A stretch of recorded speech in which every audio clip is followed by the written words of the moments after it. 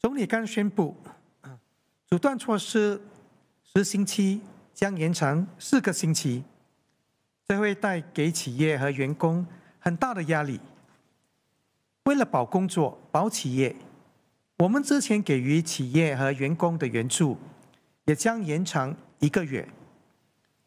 我们将在五月份把雇佣补贴计划的薪金补贴比例维持在百分之七十五。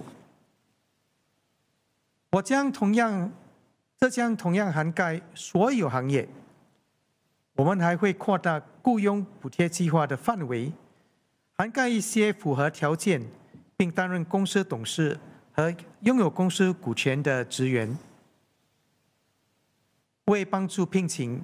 特工的企业应付人力成本，我们将豁免多一个月的外劳税，同时继续提供额外的外劳税回扣。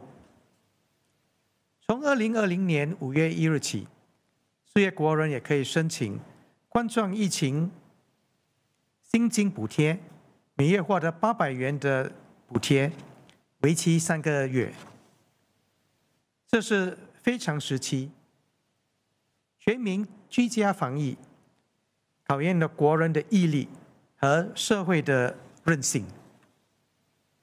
每位国人现在都站在抗疫的前线上，我们要做好本分，不要慌，不出门，不乱传，为病疫尽一份力。这样一来，我们才能同舟共济，保健康，保工作，保企业。谢谢大家。